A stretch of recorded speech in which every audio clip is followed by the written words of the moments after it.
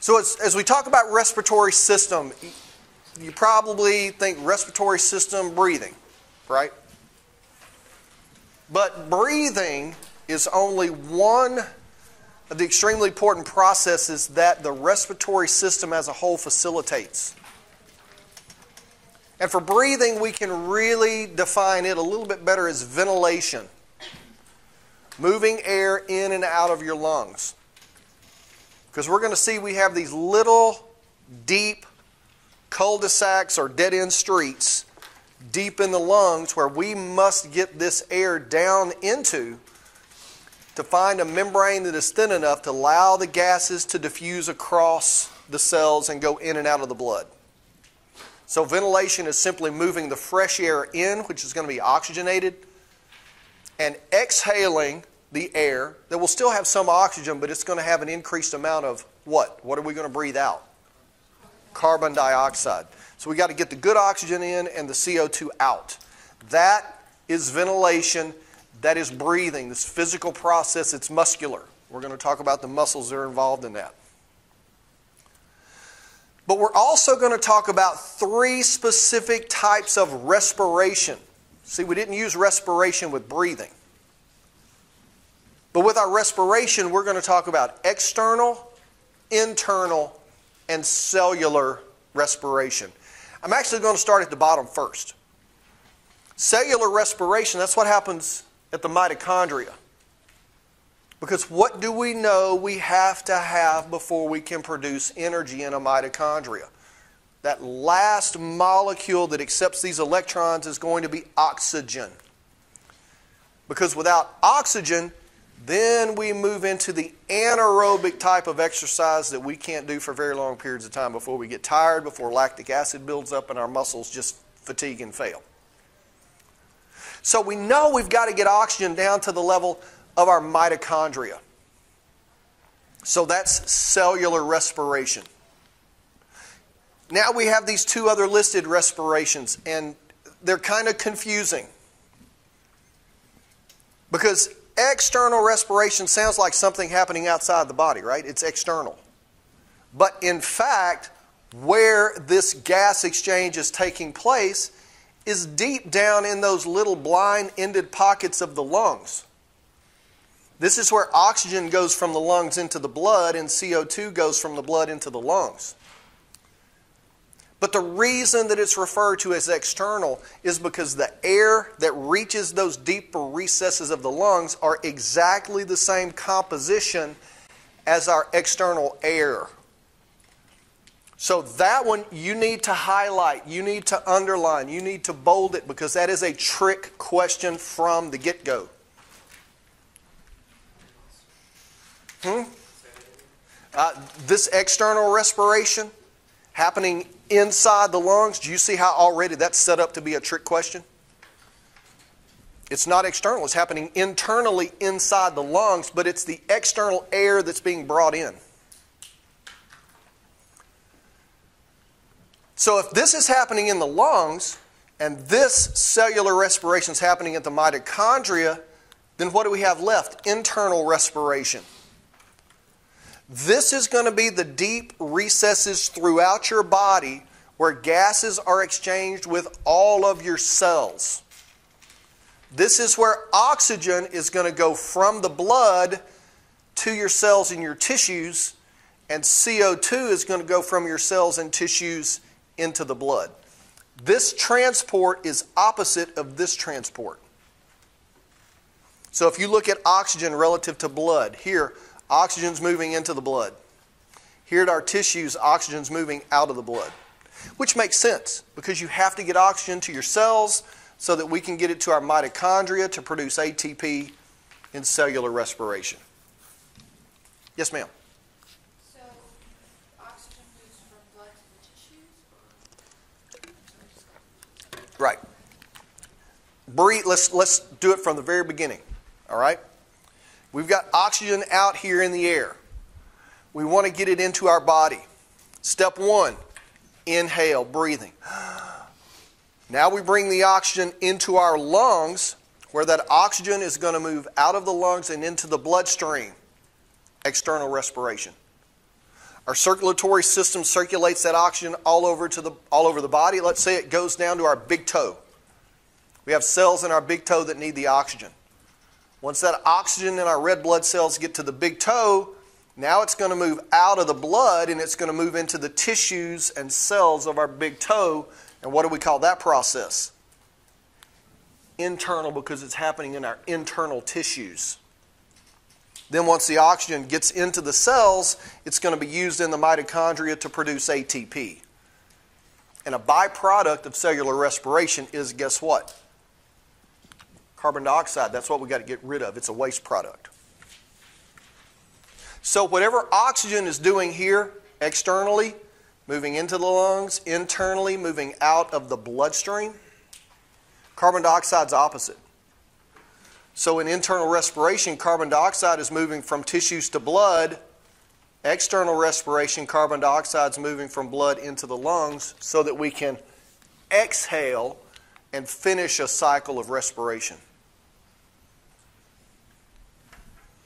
And this, this is a big overview before we get into the details of each of these.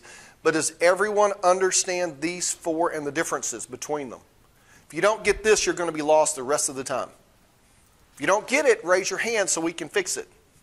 You get it? I'm going to ask every single person. You get it? Are we good? Are we good? You're, you're getting it? Is there, is there any part that's kind of stickier than others? No, you said internal respiration, gas, ex- gas exchange, oxygen moves out of the blood. Correct. Okay. And into your tissues.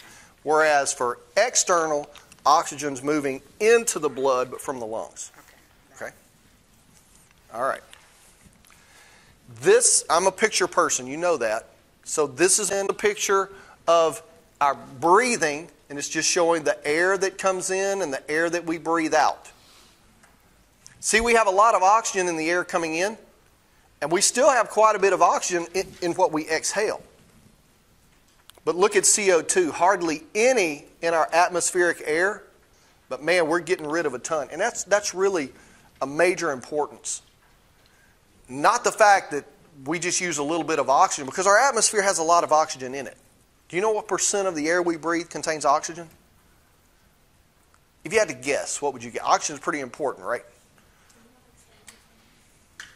Not 70. It's like 15. Oh, who said 20? 21%. All right, you get a you get one of these right here. 21%. The most abundant element in the air we breathe is what? Nitrogen. Nitrogen's going to be good grief. I think we're of 60% or more.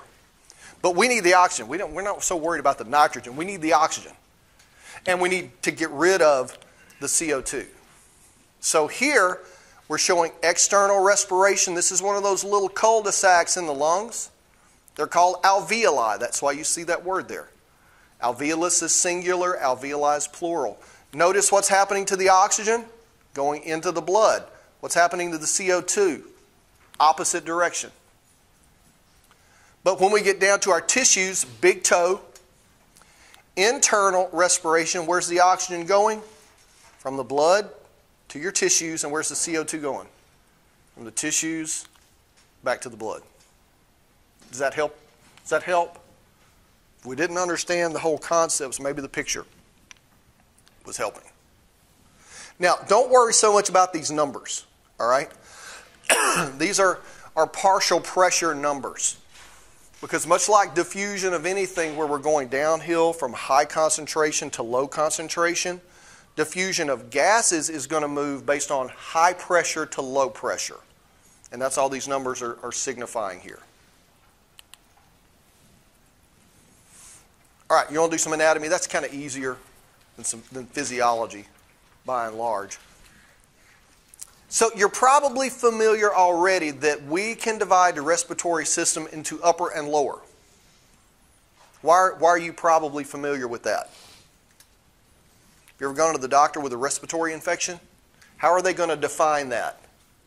If it's up here in your sinuses, yeah, well, if you've got an infection here, it's an upper respiratory infection.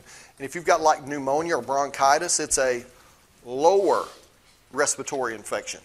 So that's one real easy way we can separate what's going on in the head and neck from what's going on in our chest or our thorax. This is upper, and this is lower. So let's look at upper first. Nose, nasal cavity. Now, this is not sinus cavity. Do you, do you understand that there's a difference? Do we, do we understand there's a difference between nasal and sinus?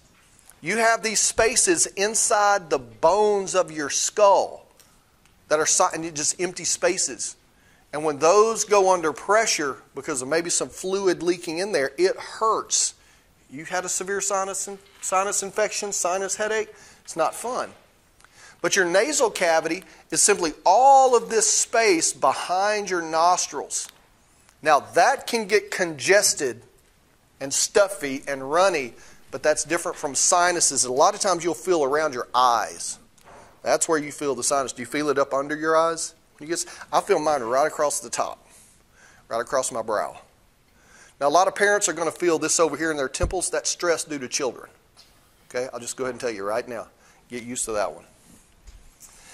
But you can see that our sinuses for our nasal cavity is connected because of this space in the back of our, what we call the throat or the pharynx, that's connected with our mouth, our oral cavity.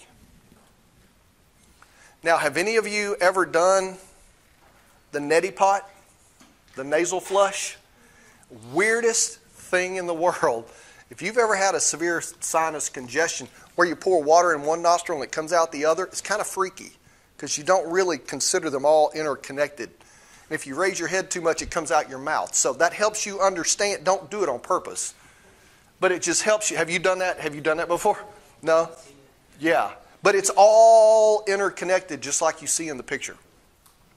But that is our upper respiratory. You can breathe air in through your nose or in through your mouth.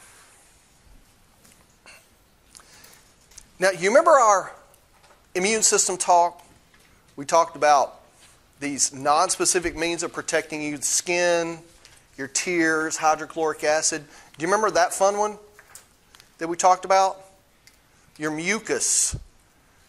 You have cells that are present inside the lining of your airway. And these are also cells that line your digestive tract, lower intestinal tract, that are called goblet cells because it looks like a goblet that you drink out of, like the King Arthur's cup and all that kind of stuff.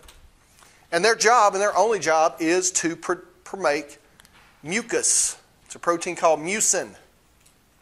Starts out as mucinogen, it gets processed to mucin, it gets secreted, gets hydrated, boom, sticky, nasty, slimy mucus. And that's why it's going to trap the dirt and particles. That then the ciliated cells are going to move up into your pharynx because remember, everything's all connected. And then you can swallow it. It goes down into a bath of hydrochloric acid to be processed.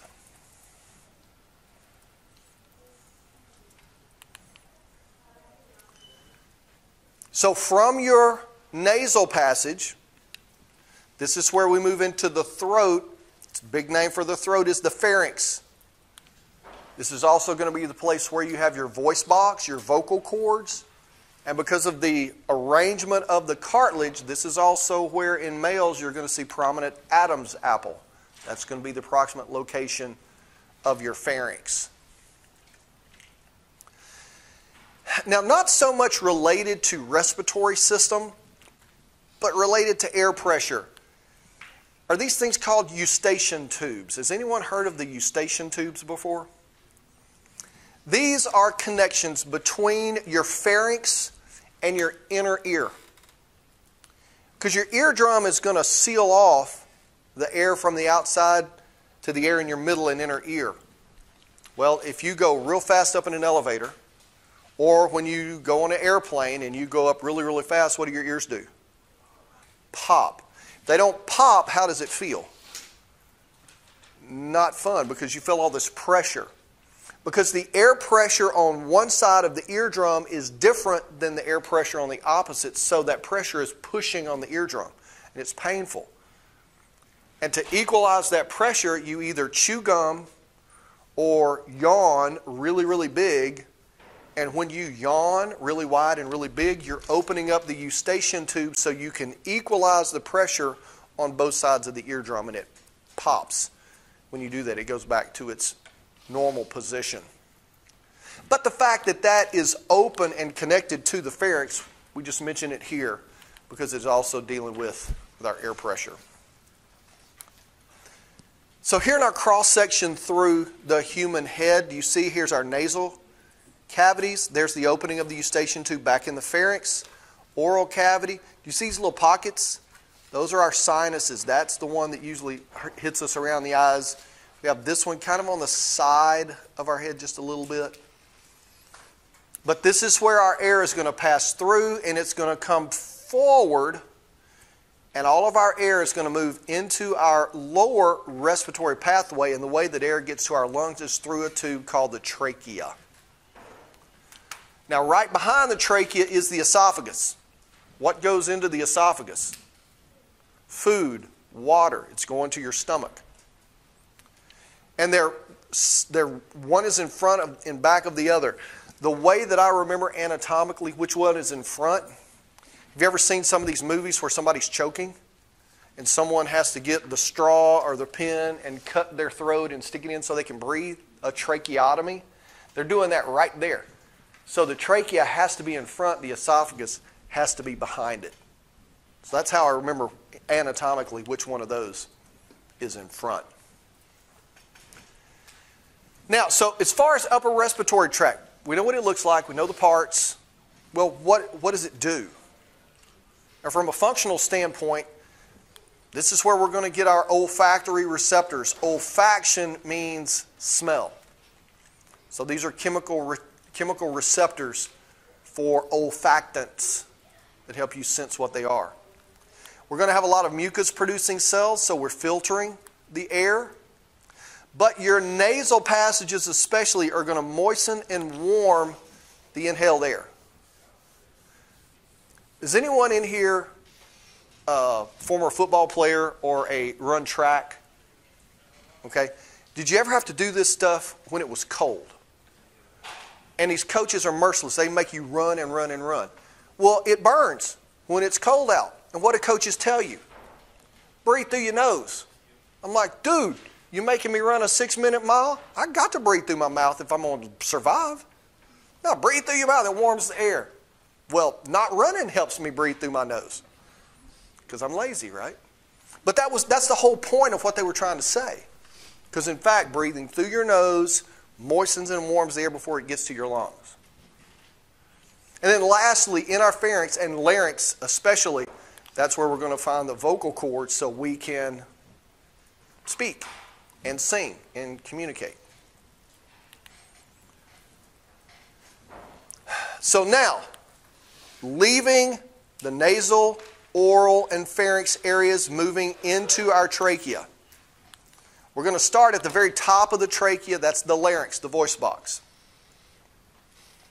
Then we get to the trachea proper, that is our windpipe. And at the very bottom of the trachea, you see that it splits into two pieces. You got to make a right or a left hand turn, and those are going to be our bronchi a right bronchus and a left bronchus. And then from there, we're going to have a lot of branches more, but we're just going to say from the bronchi, we get into the lungs. And we have, I think it's about 17 more divisions. And every time we divide the airway, they get smaller and smaller and smaller in diameter until we get down to these little bitty, teeny tiny bubbles. And those are the blind ended pockets, the alveoli where we actually undergo. And what kind of respiration do we do when we get into the lungs? External or internal? See, that's, see, I said what respiration would do in the lungs. I'm leading you that trick. Remember, I told you it was a trick. If it's in the lungs, then it's external. I'm going to do that a couple of times so that you're, you're ready for those questions on the test. All right? I do not want you to be tricked on the test. So I've sort of blacked out the upper respiratory part. Now we have all these other divisions of anatomy as we're moving down into our lower respiratory system And we're going to talk about these parts of the epiglottis. This is that little flap that keeps you from inhaling your food or the water. The pleural membranes, pleura refers to lungs, so this is a covering around the cavity in which the lungs sit and coverings on the lungs themselves. Uh, we've already talked about alveoli. We're going to talk about intercostal muscles. The prefix inter, I N T E R, what, is, what does that mean? Inter. Huh? Between. You're, you're close. Interstate does run through the state, but an interstate goes from one state to the next, so it runs between states. If you're talking about a road inside just the state, it's an intra state. So here, intercostal refers to our ribs. So where are you going to find the intercostal muscles if the name means between the ribs? That red stuff in between our white ribs. And you're going to have two sets that we're going to work with. You have a set that runs in a certain direction on the outside that are the external intercostal muscles. And you have another set that's almost 90 degree rotated from those that are deeper. Guess what we call them? Internal intercostals.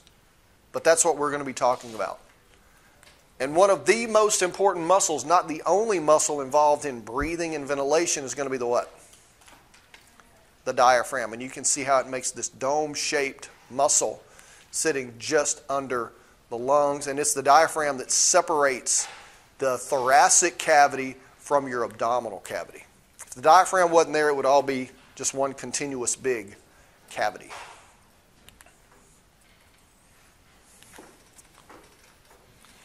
So we're coming from the upper respiratory system from the pharynx, and we get down to the larynx or our voice box. And around the larynx, as well as around the trachea, we have rings of cartilage. Cartilage is going to be kind of rigid, but it's also a little bit more flexible, especially when we have our hyaline cartilage that contains a number of elastic fibers. So, this cartilage is going to kind of be like a bow on a bow and arrow. You, you can change its shape, but if you release the tension, it's going to go back and spring back to its original shape. And for our larynx, the original shape of the voice box, it's going to be to keep it open. We have some muscles that can kind of change that shape. So the pharynx maintains that open airway, but it's also going to be the pathway that food and water begins to go down.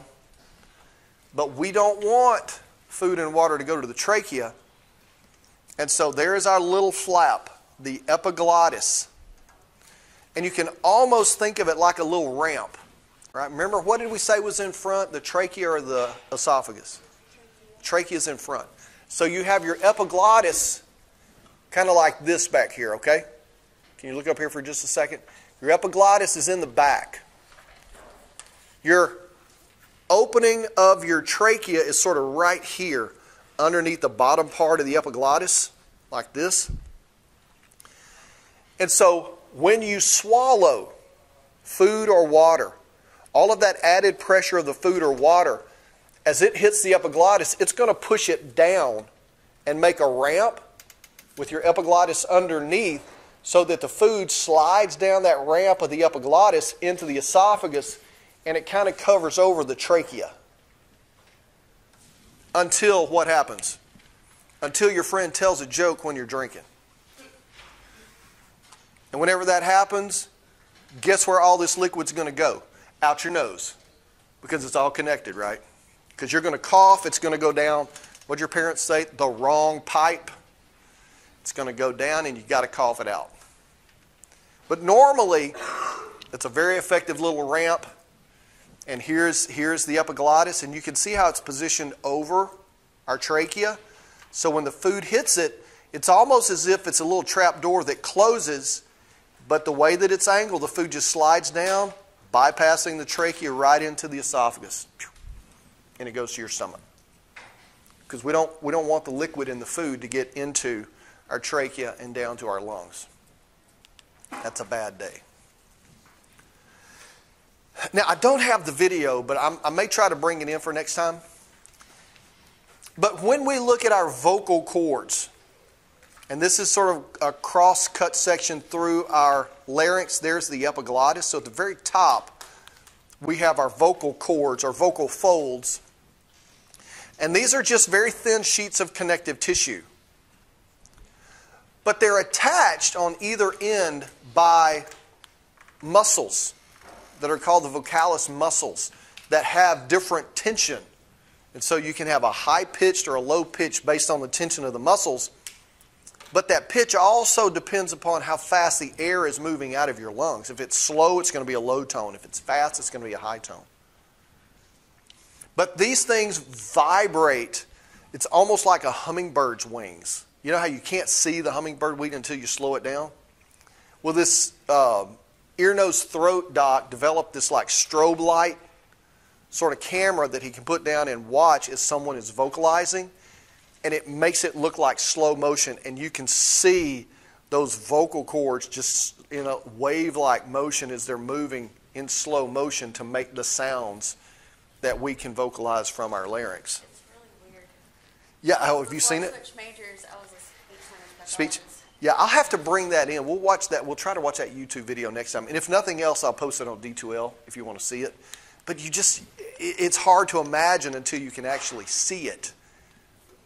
But those are our vocal cords, these little vibrating flaps that make sound, that echo through our oral cavity, that echo through our nasal cavity. Our tongue shapes what the, the sounds are like. So as air moves down past our larynx, past our vocal cords, we get into the trachea. Now understand this is two-way movement. Air can go down the trachea and it comes up the trachea, breathing in and breathing out. And our trachea consists of this epithelial tissue, but we also have these rings of cartilage that are shaped like the letter C. In our illustration, do you see the white? That's the cartilage.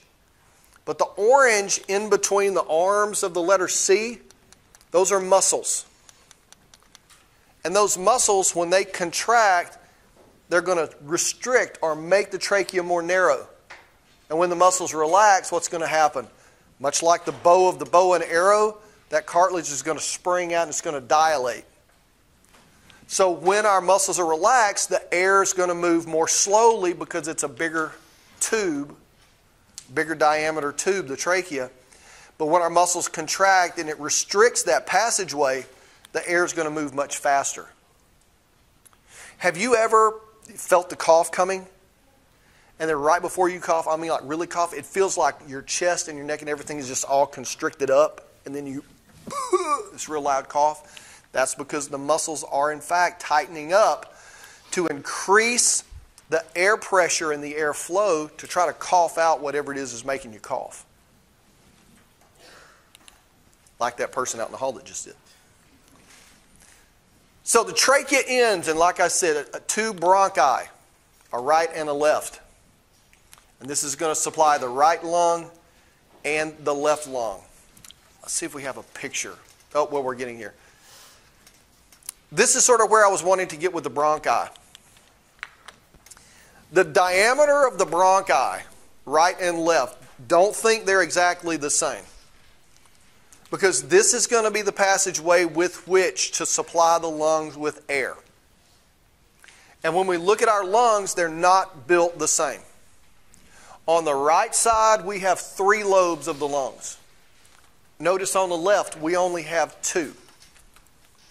So just knowing that information, which diameter bronchus would you think is the largest diameter? The right or the left?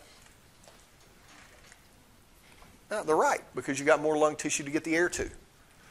So if a child inhales something and it gets past the larynx and it gets into the trachea and it goes on down, where is it most likely going to get stuck? It's most likely going to get stuck in the right side because that's the bigger hole to get the thing into. Now, here, here's the question about this why don't we have three lobes on both sides? What, what's in the way on the left side? The heart. The heart is not right in the middle of your body, it's shifted slightly to the left. So when we salute for the Pledge of Allegiance, where do you put your hand? Over your heart, and is it going to the right or the left side? It goes on the left side because your heart shifted slightly to the left side. In this illustration, you can see it in blue. And so you can see we have one, two, three. And the lobes aren't exactly the same size, but on the right side, we have less tissue divided into the two lobes.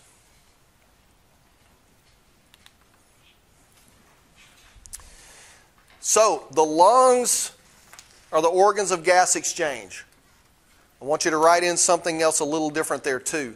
The lungs are the organs of which respiration? Say it louder. X, I heard a lot of whispers. External respiration. I'm going to hammer that into you so you're ready for the test. The lungs are the organs of external respiration. So as we leave our bronchi, and, and don't write this down, but we will branch again into secondary bronchi. Those will branch again into tertiary bronchi. They'll branch 17 more times before we get down to those little bitty tiny bubbles where we're going to un- actually undergo external respiration, and those are called the alveoli. And you may have 300 million. In healthy lungs, you may have in the neighborhood of 300 million alveoli present. And so, to get an idea of the surface area, picture the surface area of your skin times 40. And that's the surface area inside your lungs for external respiration. Getting oxygen into the blood and getting CO2 out of the blood. Because it happens by diffusion. And the way can you can make diffusion much more efficient is increasing the surface area through which it can diffuse.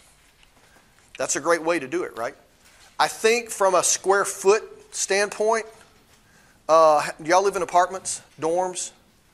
T- give me a square footage of, a, of an apartment or a dorm room. Do you know the square foot? Huh? 800 square feet for your apartment? Or an apartment? 800 square feet. The square footage in the average adult human, 760 square feet. Does that, does that give you an idea of how much surface area for these little bitty teeny microscopic bubbles? But there's so many of them, it accounts for a lot of surface area for those gases to move across. Now, here's a problem, though, with these little bubbles. We, we talked very early on about the human body, and we said the human body was mostly composed of what? Water. And if you ever look at water, especially after you waxed your car, you've got these little bubbles on the surface of your, your car. And as those two little bubbles get closer and closer together, what happens? They join together. Because water is a polar molecule. Man, we're going back to Unit 1 now. I'm not going to review all the chemistry. Don't panic. Don't panic. She's like, chemistry. Oh my God, really? They're polar molecules, they're charged. But remember, they also, with their hydrogen bonds, attract each other? Well, because of those chemical bonds between water molecules, they want to form a perfect sphere. And if you ever see the astronauts on the shuttle playing with water droplets, and they just let one float around in the shuttle, it will be a perfect sphere because the water is continually wanting to pull down into the smallest, most dense spherical form that it can because of those hydrogen bonded forces. Well, in these little bubble, these alveoli, it's covered with water. And so they're small enough that the water molecules inside the alveoli are wanting to collapse all those bubbles down into the smallest little water droplet it can. That's called surface tension. You seen the insects that can walk on the water? They're utilizing that surface tension to walk on the water.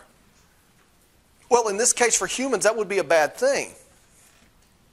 So we have some cells in our lungs that produce this molecule that, if you'll forgive me for drawing an analogy, but it's like detergent.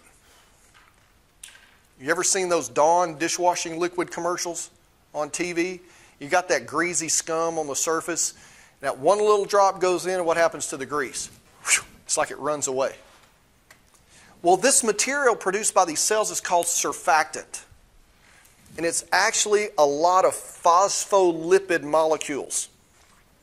Now, do you remember, does anybody remember that word that we use for talking about molecules that had a polar end and at the opposite end it was hydrophobic? So it had two different ends? Amphipathic? Man, it seems like a long time ago, doesn't it? But these amphipathic molecules in surfactant get in, they interact with water, but because of the hydrophobic chains, it keeps the water molecules apart. So it completely breaks the surface tension of the water. That's what allows our lungs to stay open. When we take that first big breath and inflate those alveoli, surfactant helps it stay open the rest of your life. Now, notice I said when we take that first big breath. That's if we were born at term. Because what do premature babies often struggle with if they're born too early? Breathing, respiratory distress, and problems because what is not being made early on? Surfactant. Surfactant's not going to be made until probably after about 32 weeks of gestation. Now, term in the clinical world is 40 weeks. There are a lot of preemies that are coming around at 25, 26 plus weeks. Now, earlier than that, you don't have the alveoli, so the baby's not going to survive. I don't care if you give them pure oxygen.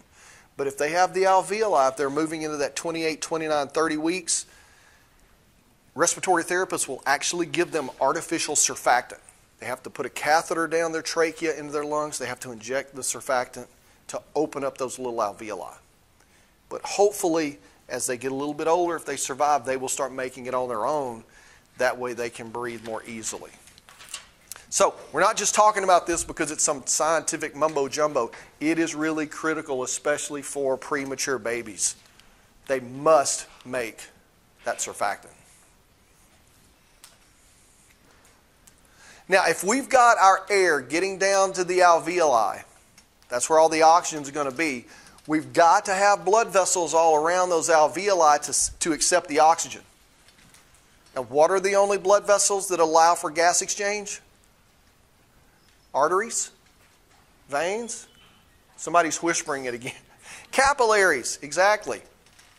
So the cells of the capillaries and the cells of the alveoli create what is referred to as the blood air barrier. And they're very close together and they're both very, very thin. They have to be, or else the gases would not diffuse across. So here we can see one of our airways. Don't worry about these names. We're not, we're not going to get to all of those. As we get down to these little clusters of grapes, each one of the grapes is this little round alveolus. You can see we've got our capillaries scattered all around them. And here in a close up view, we have the air in the alveolus. Here are our red blood cells in our capillary. There's our capillary cell. There's our alveolar cell. And they show you this space between. There is no space between. Again, this is an artist's kind of pretty picture, but it's not biological. And again, this is where oxygen moves out of the alveolus into the blood. Carbon dioxide moves out of the blood and into the alveolus. What kind of respiration are we looking at? What kind of respiration? Oh, I thought you said external. I'm sorry. I thought I heard external. External respiration. Now, I'm not just going to show you a picture. We don't do pictures. I'm not just going to say what respiration happens in the lungs. I may say when oxygen moves out of the lungs into the blood, CO2 moves out of the blood into the lungs, what kind of respiration is that? So you have to understand the concepts. Don't just try memorizing terms. I think that's where people really get tripped up. If they're just memorizing terms but they don't understand the concepts, because the test is going to is going to dissect out who really understands and who just memorized words. Okay? Or who just looked at them once. Y'all know that by now, right?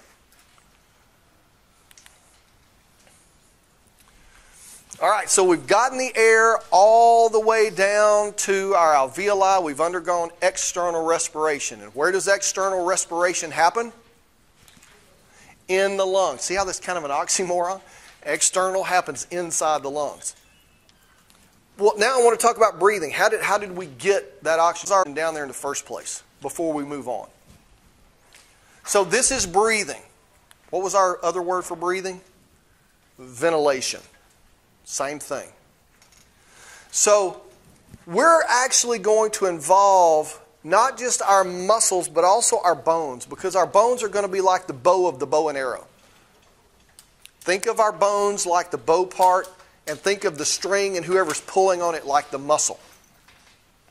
So, our ribs and our sternum are going to play a role because they define the area within which the lungs sit. The diaphragm, it also plays a role in defining the most inferior extent of our thoracic cavity, but since it's a muscle, it's also going to play a role in ventilation. And then we mentioned, right, our intercostal muscles between the ribs, the external and the internal set. All of those, and a few other muscles. I don't, we're not probably going to mention them, but there are other, other muscles involved as well that play a role in bringing air in and getting air out. And that's what we want to look at here. So we're going to start doing nothing, right? It's a guy's favorite thing to do, nothing. So we're going to start at the relaxed state. We're in between whatever it is we're doing. No air is moving. We've got a certain size to our thoracic cavity. Now, I want you to understand the size of the, the cavity, the size inside our rib cage, that's going to dictate whether we're breathing in or breathing out. Not the lungs directly themselves, but our thoracic cavity. And so, in a relaxed state, everything's relaxed. Our diaphragm is relaxed, and when it is, it forms this dome shape that kind of follows the curvature of your ribs. Can you feel your ribs, the extent of your ribs down here at the bottom? That's kind of the curvature that your diaphragm takes on when you're not inhaling. So that's a relaxed state, number one. Now, for inhalation, breathing in, also called inspiration, the diaphragm contracts. Now, when muscles contract, what do we say muscles do? Shorten. Muscles shorten. The diaphragm's a little different. Because do you feel down here on the sides, the bottom of your ribs? Do you feel, do you feel how low that kind of is down here?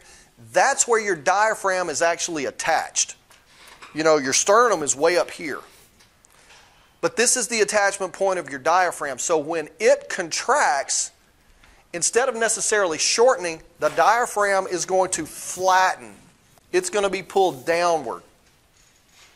And when your diaphragm pulls downward, that increases the space inside your thorax. So, step number one for inhalation diaphragm contracts.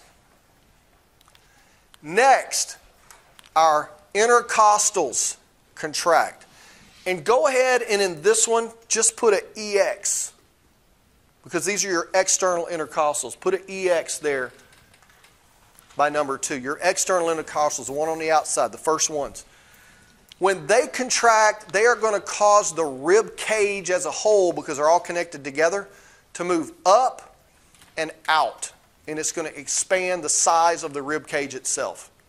So you're making the rib cage bigger and you're dropping the floor, which means more area inside. And when you have more area inside, that's going to cause the lungs to be under lower pressure and your lungs are going to get sucked open. They're going to get sucked against the rib cage and so they're going to get bigger. And when your lungs get bigger, the air that was inside the lungs is going to be under lower pressure which creates a vacuum compared to air pressure. Remember, we said gases move based on pressure from high to low. So if you have low pressure in your lungs because they're bigger, higher pressure out here in the atmosphere, where's the air going to go? It gets sucked down into the lungs. So inhaling is actually sucking the air down into the lungs because you created a vacuum down in the lungs themselves. So here's our illustration for inhalation. The diaphragm moves downward. You can see these arrows trying to illustrate the downward movement. Your external intercostals contract, causing the, the ribs and the rib cage as a whole, because it's connected to your vertebral column, it's connected to your sternum. Your ribs move out and up, creating a larger space, which creates lower pressure, the vacuum that needs to get sucked in. Okay, so in step two, we inhaled. We filled our lungs with oxygen. We can't, we can't get any more in unless we really, the doctor tells you to take a deep breath, and then it's probably about as much as you can do.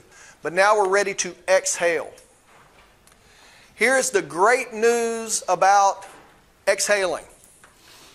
We call it quiet exhaling, what you're doing right now since you're not exerting yourself. All of your muscles relax. Your external intercostals relax. Your diaphragm relaxes. When the external intercostals relax, your ribs move down and in, creating smaller space. When your diaphragm relaxes, what does it do? Springs back up into the dome shape, creating less space inside the rib cage. Now all of that air we breathed in is under is in a much smaller space, so it's going to be under a much higher pressure. Higher pressure in the lungs, lower pressure outside. Where's the air going to go?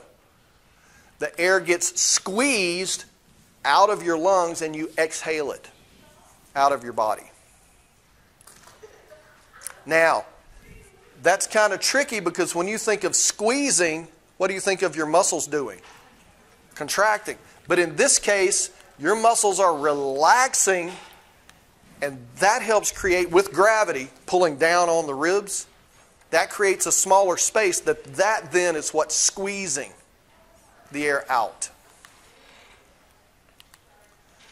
So again, in this illustration, know, it's the same picture, they just changed the arrows, so don't, don't get too confused by that.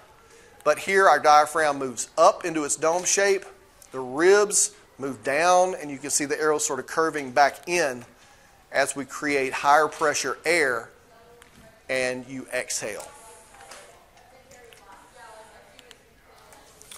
All right. Are, are we good with those processes and the muscles that are involved? Diaphragm and the intercostals, particularly the external intercostals. The internal set, we only use that when we're having to forcefully exhale, so we're not even going to get into that. So for quiet exhalation, we're only using two muscles, and we're only using the ribs and the sternum really to hold everything together. So that breathing brings the oxygen into the alveoli. But now we've got to get the oxygen into the blood and the CO2 out of the blood and into the lungs so we can exhale it. And I've already mentioned the concentration gradient, which is a pressure gradient. I've already mentioned this is diffusion, so it's moving downhill from high to low. And that's exactly what our gases are doing inside this mixture that we call air. So when we inhale this fresh air, oxygen is going to be at a higher concentration in the alveoli, lower concentration in the blood. And that's what's going to cause oxygen to move from the lungs and into the blood. Most of which is going to bind with what? Hemoglobin. Where do you find hemoglobin? Don't say in the blood. Specifically, where do you find it? In what part of the blood? Red blood cells. Only a very small percentage is just going to get dissolved into the liquid portion. You know, like the, the CO2 in your soft drink? in this case, oxygen is going to get dissolved in that, li- dissolved in that liquid, but only a very, very small percentage, maybe 2% of that. Carbon dioxide that's in your blood, that's coming from our tissues back to the lungs to be exhaled, not a whole lot of it is combining with hemoglobin. And not a ton of it is dissolved in our plasma. Most of it is going to be in the form of this substance called bicarbonate, HCO3. This is the substance that's in the plasma that gets moved back and forth. Red blood cells process it into CO2 or convert CO2 into bicarbonate depending upon where it's happening. In your tissues, red blood cells make bicarbonate out of CO2.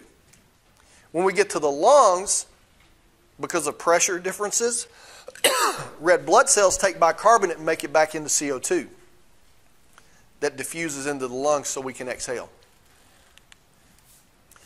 Why nature has chosen to do it this way, not sure.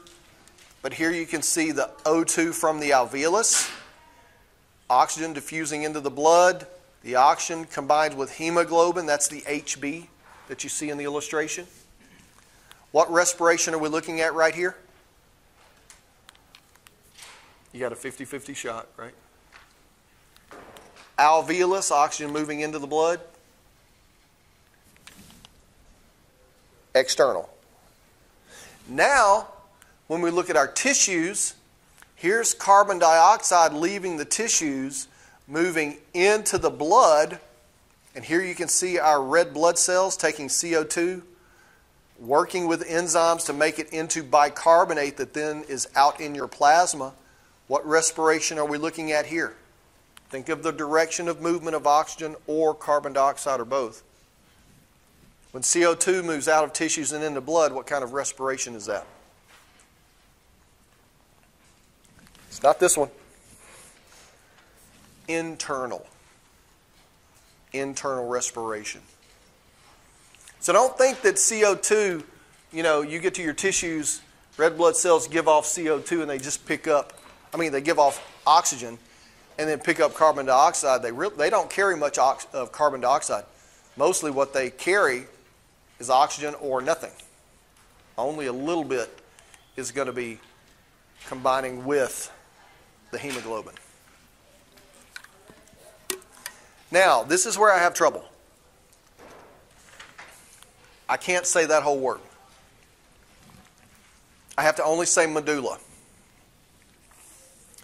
Because if I say both of those words, I see Colonel Sanders talking in the movie Waterboy, and it cracks me up.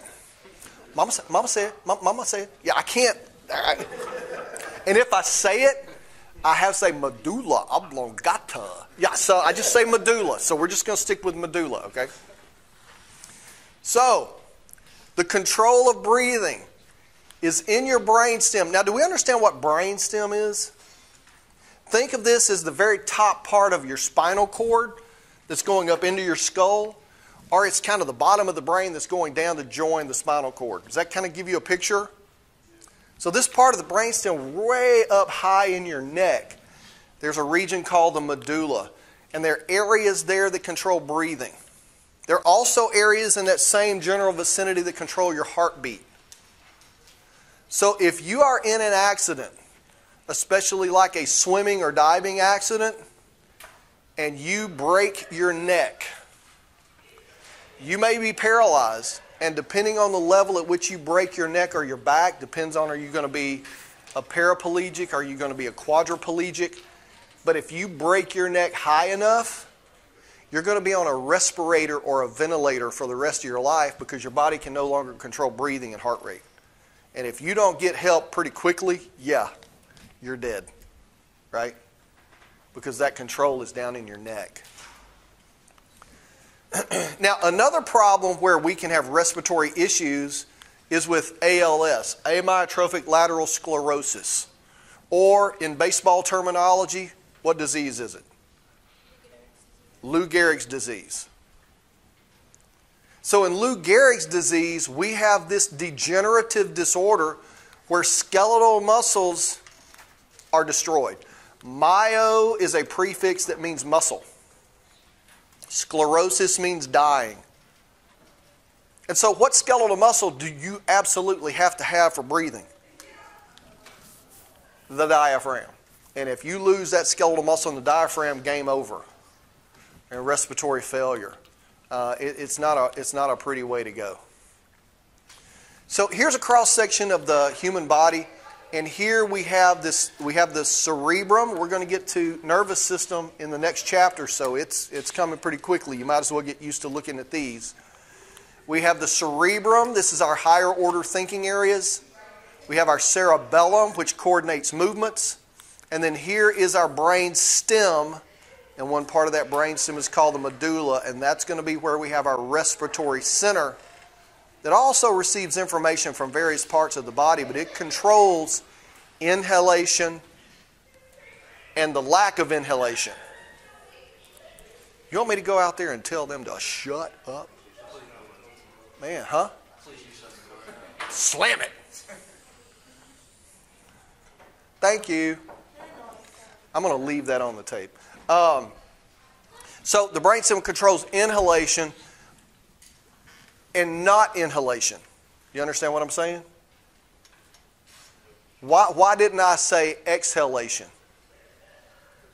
What, what is exhalation? Not inhaling. Inhaling, in, inhaling, what kind of word is that? Inhaling is contracting the muscles to make the space bigger. Exhaling is relaxing the muscles. So your brain center is inhale, don't inhale. Inhale, don't inhale. Inhale, don't. Yeah. So it's just on off. Now, when you do something more active, it gets more complicated than that, but we're not going to get more complicated than that for what we're doing. Now, stuff goes wrong, right? Just like on a car, sometimes your transmission goes out. Man, it's killing me. Do not want another car note, but hey, it's better than walking, right? So sometimes we can have these spasmodic contractions of those little muscles, you know, those cartilaginous rings. We have those also around our bronchi as they get smaller and smaller. Well, sometimes those little muscles spasmodically contract and it makes all your airways smaller and they shouldn't need to be smaller. And so what does it cause? Difficulty breathing. Anybody got asthma? Anybody else? Asthma? Sometimes you can't grow out of it, sometimes you grow into it. And sometimes you can sort of have an allergic attack, which kind of causes that asthma. Hopefully, you've got your little inhaler, right? Okay? That inhaler is a chemical that causes those muscles to relax. It's called an emergency inhaler. It's probably something like albuterol or some other very similar chemical to albuterol causing that relaxation so you can breathe again. This one, it's a different situation. Emphysema. Have you ever heard of emphysema? Who typically gets emphysema? People that did what? Smokers. Because all of this debris, tar, and nicotine, and these other carcinogens get down to the lower levels of your lungs, into your alveoli, because your mucus cells can't get rid of it all when you're bringing that much stuff in, much garbage. And so when you get that all the way down, it causes your alveoli to die. These, these are those 300 million, all that surface area that we need for external respiration. You start killing them off, they don't grow back. When your alveoli go, you get scar tissue. So if you're having difficulty breathing and you've been smoking for 40 years, you shouldn't be surprised. The doctor's going to tell you, yeah, you got emphysema and this is the way it's going to be the rest of your life. Because it's not going to get better. Now, while hopefully you have not experienced emphysema, many of us probably have experienced bronchitis through lower respiratory infections. And anytime you see ITIS, what does that mean? Inflammation, and the first part of the word is what's inflamed. So your bronchi, those airway, when they get inflamed, guess what you're doing to the diameter? Making them smaller. Is that easier or harder to breathe through? Okay, if you, if you don't get the idea of a smaller tube is harder to breathe through, go to McDonald's and get a milkshake and ask for the smallest straw they have, which they usually give you anyway, right? Mm-hmm. Because you're hungry for that milkshake. You want that milkshake. And when you first put your mouth on that straw and you get nothing, and you just have to keep sucking, that vein pops out on your forehead because you're trying to pull so hard. You go, uh uh-uh, uh I don't want a straw. Give me a water hose to get this milkshake. That will be a good example of what happens when you make it smaller. It's much harder to breathe through. So, again, bacterial infections usually cause that. Antibiotics, fluids, humidified air, some of those things help alleviate some of those symptoms. Now, this is a new slide that I put in. I'm not sure if it's actually, if it made it in, uh, hopefully, it made it into your PowerPoint. But this is one that's popped up in the last decade or two. Chronic obstructive pulmonary disease. This is not asthma and it's not emphysema. It's both. So if asthma is not bad enough, if emphysema is not bad enough, guess what? You've done both to yourself. And guess what? The cause of COPD is common cause smoking. It's, it's predicted, I think, by 2020, and this is a number from a long time ago. I think 2020 COPD was going to be among the leading causes of preventable death around the world. People are committing suicide. It just takes them 30, 40 years to do it. Now, I've, I've never smoked a day in my life, and I'm not saying that to, to brag or anything. I grew up in the country, and we, we, we clear burnt brush to get rid of it. And I breathe in so much smoke, I'm like, there's no way this could ever be fun. So I'm like, no, I don't want, I don't want any part of that. But eh, just in hearing anecdotally from people, smoking's not cheap. How much is a pack of cigarettes anyway? Yeah.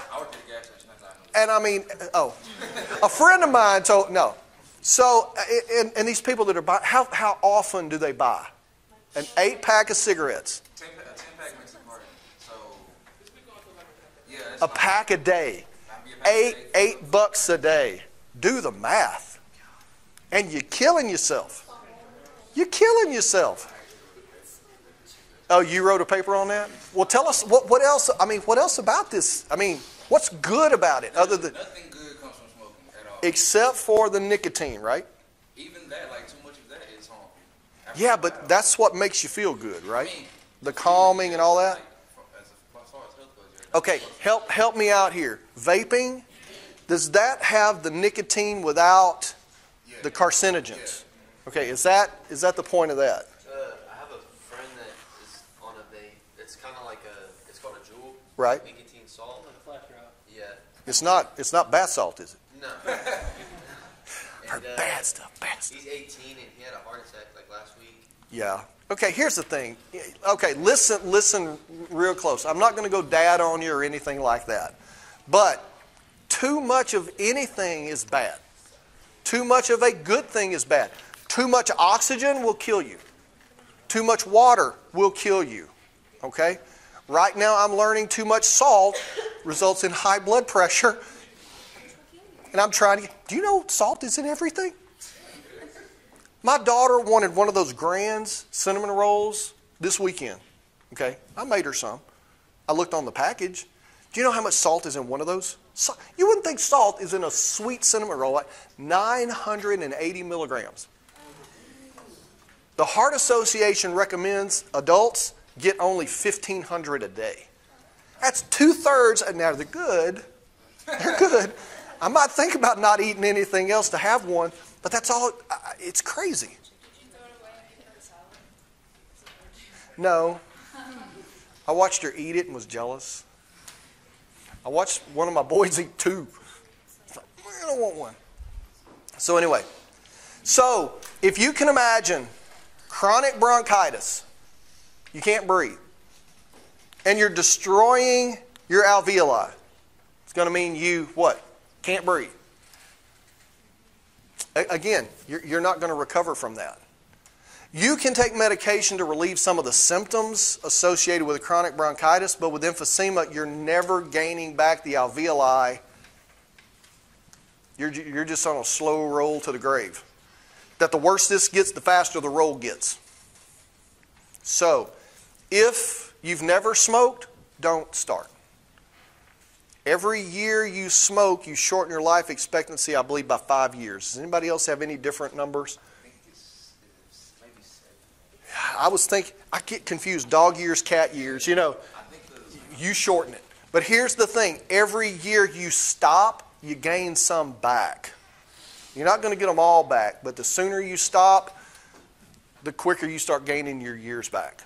And that's, that's just point of fact. And if you have friends, try to, try to get them to stop. Secondhand smoke though? Because I have a aunt, like she never smoked a day in her life, and her husband did, and, and she ended up getting cancer. Secondhand smoke is bad. It's not as bad as the direct, but it's bad. And I think, what, what's the state? There is a state somewhere that just passed a law that you cannot smoke in the car with a child. If a child is in the car, did you anybody else hear this? Yeah, there's there's a state. I don't I don't know if it's Florida. But there's a there's a state somewhere that passed a law that you can't smoke and be in a car with a child because of secondhand smoke. Now, a, a couple of times, you know, it's but a wife 40, 50 years with a man that smokes all the time, yeah. She's a goner. So all right. So again, COPD, chronic bronchitis, emphysema. You know, this is what it should normally look like. You know, all these alveoli, and you have none. Here's a nice open, clean airway. Here's a constricted airway with a bunch of fluid, inflammation. You just can't breathe. And you can't do any activity, right? If you've been sick and had a chest bronchitis, you, any activity just makes you weak, makes you tired. So these people are tired all the time, short of breath all the time. They're just in bed, sitting around all the time. There's no quality of life, none whatsoever. Now, pneumonia, fluid in the lungs. This is often caused by uh, pneumococcus bacteria. Normally, we have a robust immune system that can fight this off. So, who typically do you see getting pneumonia?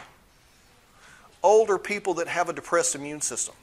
They're susceptible to these opportunistic infections. Tuberculosis, TB, this is another bacterium.